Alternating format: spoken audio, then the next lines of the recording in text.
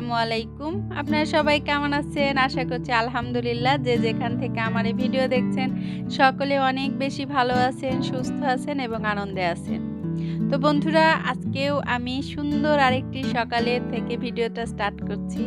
কি সুন্দর ঝুমঝুমিয়ে বৃষ্টি পড়ছে, তাই না? এরকম একটা সকালে ভালো না থেকে তো কোনো উপায় নেই, ভালো থাকতেই হবে। তো সুন্দর আরেকটি সকাল নিজেকে উপহার দিয়ে সকাল থেকে ভিডিওটা স্টার্ট করছি। আশা করছি বন্ধুরা আমার ভিডিওটি প্রথমে লাইক দিয়ে দেখা শুরু করবেন। তো আজকে আপনাদের সাথে শেয়ার করি আমার মাধবীলতা গাছটা। একদম পুরোটা গাছ ফুলে ফুলে টইটুম্বুর হয়ে আছে মানে বৃষ্টিতে টইটুম্বুর আর ফুলে ফুলে ভরে আছে। তো মাধবীলতা গাছটা আমার এক ছোট ভাই গিফট করে। তো আজকে ওকে মনে মনে বেশি বেশি ধন্যবাদ দিচ্ছিলাম। কারণ প্রতিটা ডোগায় ডোগায়, থোকায় থোকায় ফুল, এটা কিন্তু মানে কি পরিমাণ যে ভালো লাগা কাজ করছে। তো গাছটা ভাবলাম যে পুরোটাই এভাবে শেয়ার ভিডিওটা করে নেই, কারণ আমার তো দেখতে খুব ভালো লাগছে। রাতেও আপনাদের ভাই অফিস থেকে এসেও দেখি যে ও না আগে এতটা গাছ প্রেমিক ছিল না, দিন দিন না খুব মানে হচ্ছে। মানে দুই বারান্দায় সে রাতে এসেও প্রতিটা গাছ দেখবে। আমার বারান্দায় কিন্তু তেমন কোনো গাছ নেই যে দুই একটা গাছ। এই গাছগুলাই দেখি যে ও না খুঁটে খুঁটে দেখে এখন। তো এটাই আমার বেশি ভালো লাগে। আসলে পরিবারের সবাই যদি একটা জিনিসকে সবাই মিলে ভালোবাসা যায় এবারে আছে না, হয়তো হাজব্যান্ড পছন্দ করল না, আমি গাছ লাগালাম। তো এটা কিন্তু আসলে ভালো লাগা থাকতো না। তো সবাই যখন ভালোবাসে, যেমন আমার ছেলে, মেয়ে, ওর বাবা, সবাই, তো ওই জিনিসটাকে আরও ভালো লাগাটা আরও বেশি তৈরি করে। তো অনেক দিন পর একটু বৃষ্টি ছুঁয়ে দেখলাম। আর পানি দিয়ে মুখটাও একটু ফ্রেশ করে নিলাম। এদিকে কিন্তু সবাই অফিসে মানে বাবা অফিসে চলে গেছে, ছেলে স্কুলে মেয়েরা বাসায় আছে, তো ওরাও খাওয়া দাওয়া শেষ করে মানে আমাদের সকালের ব্রেকফাস্ট সবার শেষ, এখন প্রায় নয়টা বাজে। মেয়েরাও পড়তে বসে গেছে। তো আজকে মোটামুটি আলহামদুলিল্লাহ আমার শরীরটা বেশ ভালো, তো ভাবলাম যে আজকে রান্না বান্না কী কী করব, সকাল থেকে গুছিয়ে নেই। আর সিলেটের বৃষ্টিটা না এমন এই যে ঝুম বৃষ্টি নামছে, সকালে কিন্তু একদম আকাশ পরিষ্কার ছিল তারপরে কিন্তু বৃষ্টি। আবার দেখা যাবে কিছুক্ষণ পরে আবার আকাশ পরিষ্কার হয়ে রোদ উঠে গেছে।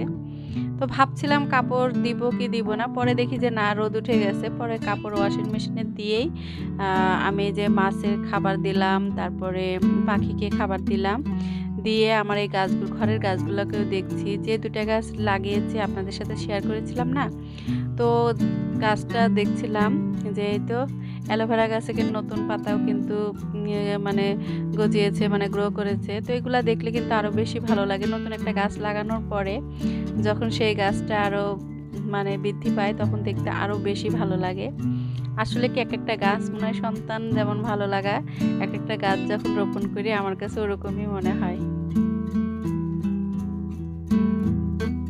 তো এই তো স্নেক প্লান্টারও পাতাটাও মানে যে কুশিটা ছিল সেটাও কিন্তু অনেক বড় হয়ে গেছে। তো এটাও ভালো আসছে। তো গাছগুলা একটু দেখলাম ঘরের ভিতরে কোন গাছগুলোকে পানি দিতে হবে, সেগুলোকে পানি দিলাম, তারপরে এগুলা করে করতে করতে অনেকটাই সময় লেগে গেল। আর বৃষ্টি থাকার কারণে শিউলি একটু লেটেতে লেটে আসে। এদিকে কাপড় ওয়াশটাও প্রায় হয়ে গেছে, তো ভাবলাম যে আমি যদি এখন কাপড়গুলো বাইরে দিতে যাই, তাহলে রান্না করতে আমার আরও একটু দেরি হয়ে যাবে। তো এই জন্য আগে মেয়েদের জন্য ছেলে আসবে স্কুল থেকে, তো ওর জন্য একটু শরবত করে রাখলাম। তারপরে যে আনারস আছে আপনাদের ভাই একদম বাগান থেকে টাটকা আনারস নিয়ে আসছে। তো এই আনারসটা কেটে নিচ্ছি। রাতে একটা কেটে খেয়েছি। ও বেশ মজার মানে অনেক মিষ্টি। মানে এত মিষ্টি হয়, আসলে আমরা সিলেট না আসলে আমি জানতামই না। ছোটোবেলায় আমি কখনো আনারস খাইনি। মানে এই সিলেট আসার পরে আসলে আনারস খাওয়াটা শিখেছি যে আনারস এত মিষ্টি আর এত রস। ওদের জন্য আমি দুটি আনারস কেটে রাখব, তাহলে দেখা যাবে যে খাবে মানে টেবিলে রেখে দিলেই খাবে, না হলে কিন্তু খেতে চায় না।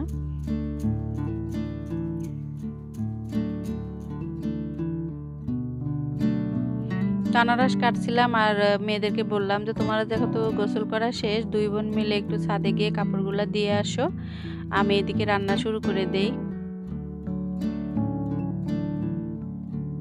তো ওরা দুই বোন মিলে এখন একটু ছাদে যাবে। আর আমি প্রতিদিনই বলি পাঁচ থেকে দশ মিনিট ওদেরকে একটু ছাদে পাঠিয়ে দেই গোসল করার পরে। চুলটাও শুকিয়ে যাবে, প্লাস একটু ভিটামিন ডিটাও নেওয়া হবে। তো এই জন্যই মানে পাঠানো। তো ওরা দুই বোন ছাদে চলে গেল। এদিকে আমি এখন রান্নার জন্য আর বাকি কাজগুলো করে নেব। আর সেগুলি তো কেটে কুটে দিয়ে গেছে। ও আবার নিচের বাসায় একটু কাজে যায়। তো আমি ওর থেকে কী কী রান্না করব সেগুলো কেটে কুটে নিয়ে আমি রান্না শুরু করব। এদিকে মেয়েরা কাপড়টা ছাদে দিয়ে আসবে। তো এই পর্যায়ে আমার ফ্রেন্ডদের কাছে আমি আমার রিকোয়েস্টটা শেয়ার করি।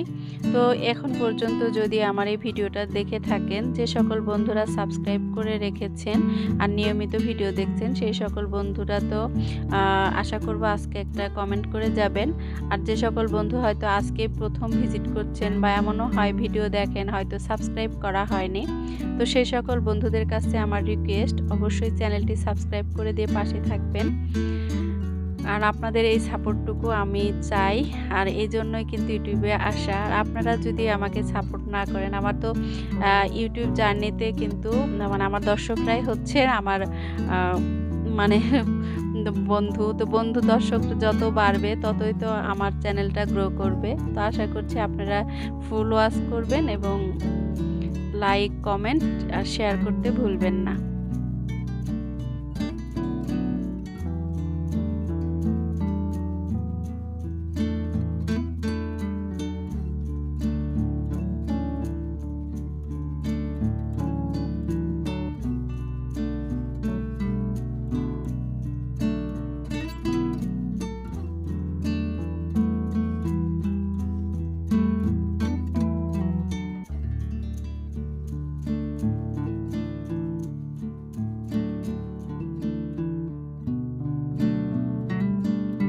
আসলো, ওদেরকে বললাম, এখন তোমরা একটু আনারস খেয়ে একটু পড়তে থাকো, তারপরে আমি আবার খাবারটা সার্ভ করব। তো আমার রান্না করতে এক ঘন্টাও লাগবে না। সব কিছু রেডি থাকলে কিন্তু খুব দ্রুত রান্না হয়ে যায়। আর আমার যেহেতু আমি তিনটা জায়গায় রান্না করি দুটা তিনটা না সরি চারটা। আমার যেহেতু গ্যাস ওভেন দুটা মানে দুই দুই বার্নার। আবার এদিকে আছে কারি কুকার ওইদিকে রাইস কুকার অতএব আমার রান্না খুব দ্রুত হয়। বললাম, এক ঘণ্টার মধ্যে তোমাদের টেবিলে খাবার দিব, এখন একটু আনারস খেয়ে নাও। আর আনারস ফলটা একটু কিন্তু ভরা পেটের চেয়ে খালি পেটে খেলে বেশি উপকার পাওয়া যায়। আর বাকি যে আনারসগুলো ছিল, এগুলো আমি একটু, আমার হাতে কষ্ট হচ্ছে, তারপরেও আমি এগুলো ছাড়িয়ে নিচ্ছি, কারণ এটা রাখতে হলে বেশি জায়গা লাগে। তো এগুলো ছেড়ে নিলে একটু আনারস পাতাগুলো যদি ছেড়ে নিই, আনারসটা আমি সুন্দরভাবে রাখতে পারব। ফলের ঝুড়িতে আমি রেখে দিলাম। তো আপনাদের ভাইয়া অফিস থেকে আসার সময় আরও যে দেখেন, পাঁচটা মিষ্টি কুমড়া নিয়ে এসেছে। তো এই মিষ্টি কুম- কুমড়াগুলোও একদম খেতে তো খুব ভালো। তো বলল যে এটা ঘরে রেখে অনেক দিন খেতে পারবা। আর মিষ্টি কুমড়া কিন্তু আমার খুবই পছন্দের একটা সবজি। আপনাদের কার কার ভালো লাগে আশা করছি কমেন্ট করে জানাবেন। আমি এই মিষ্টি কুমড়া ভর্তা থেকে শুরু করে ভাজি, তারপর বড় মাছ দিয়ে ঝোল, গরুর মাংস দিয়ে রান্না করি, তারপরে মানে মুরগির চামড়া দিয়ে রান্না করি, চিংড়ি মাছ তো আছেই। তো আজকে রান্না করব হচ্ছে নোনা ইলিশ দিয়ে। তো নোনা ইলিশটা বেশি গরম পানি দিয়ে রেখেছি, এই জন্য মাছটা একটু নরম হয়ে গেছে।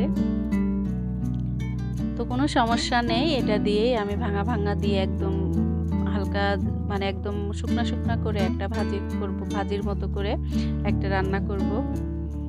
আর সাথে রান্না করছি হচ্ছে এরকম পটল দিয়ে ডাল।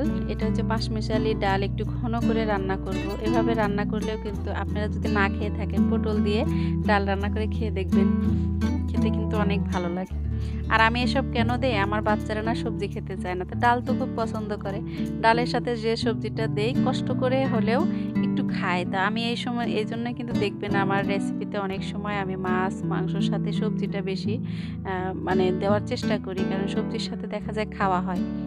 এটা অবশ্য শুধু বাচ্চাদের জন্য না, আমার জন্য। কারণ আমিও সবজি খেতে খুব অপছন্দ করি। তো এভাবে অন্যভাবে রান্না করে করে খাওয়ার চেষ্টা করি। ডাইরেক্ট সবজি খেতে মানে আমারও ভালো লাগে না। তো ওইদিকে ডালটা বসিয়ে দিয়ে পাশের চুলায় বসিয়ে দিলাম ভাজি। তো আজকে আর কারি কুকারে ভাজিটা করব না, এখানেই বসিয়ে দিচ্ছি। আমি কিন্তু তেলের ভিতরে শুধু ফোড়ন দিয়েছি কালো জিরা, তার সাথে এরকম কেটে রাখা দিব করলা, আলু, আর সাথে হচ্ছে বেশি করে পেঁয়াজ আর একটু রসুন কুচি। আর করলা ভাজিতে আমি কখনোই মরিচ ইউজ করি না। আর একটা সাদা এলাচ দিলাম। আপনারা চাইলে নাও দিতে পারেন। আমার মতো করে একবার করে ভাজি করে খেয়ে দেখবেন করলাটা কত দারুণ হয়। একদম তিতা ছাড়া করলা ভাজি হবে। আর এটা একদম লো মানে ইয়েতে রেখে দিয়ে আস্তে আস্তে করে আমি ভাজি করে নেব। এখন ঢেকে রাখব কিছুক্ষণের জন্য। আর করলাতে কিন্তু লবণের পরিমাণও মানে পরিমাণের চেয়ে একটু কম দিতে হয়। যদি লবণটা বেশি পরিমাণে থাকে তাহলে তিতার তিতার স্বাদটা মানে অতটা ভালো লাগে না। মরিচ তো আমি দেই না, লবণটাও একটু কম দেই। আর এখন বসাবো হচ্ছে নোনা ইলিশের তরকারি। আর চিকেনটা আমি আগেই করে নিয়েছি, ওটা আমি মাখিয়ে দিয়ে বসিয়েছিলাম, আস্তে আস্তে করে হচ্ছিল। আনারসটা যখন কাটি আমি তখনই কিন্তু চিকেনটা পাশে বসানো ছিল। তো ওটা আমার রান্না হয়ে গেছে। তো আস্তে আস্তে বাকি রান্নাগুলো আমি করে নিচ্ছি।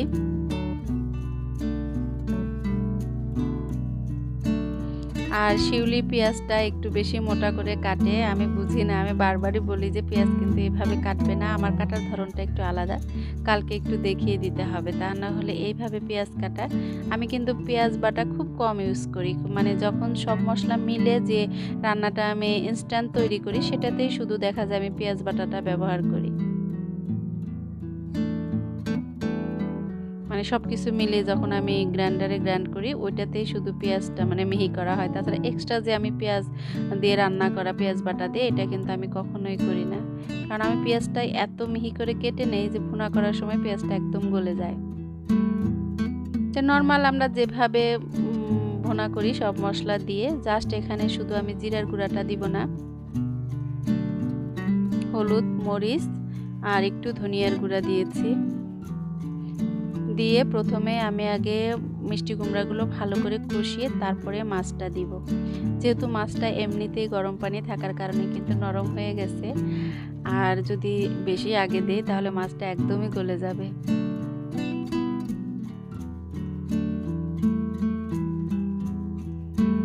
মিষ্টি কুমড়া দেখে খুব খেতে ইচ্ছে করছিল, দেখে একদম বেশি পরিমাণে দিয়েছি। রান্না করার সময় বুঝতে পারছিলাম যে আর একটু কমিয়ে নিলে কিন্তু ভালো হতো।